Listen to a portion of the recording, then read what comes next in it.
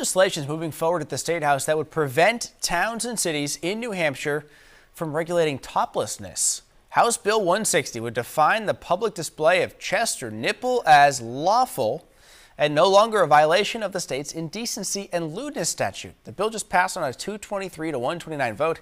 It now heads to the state Senate.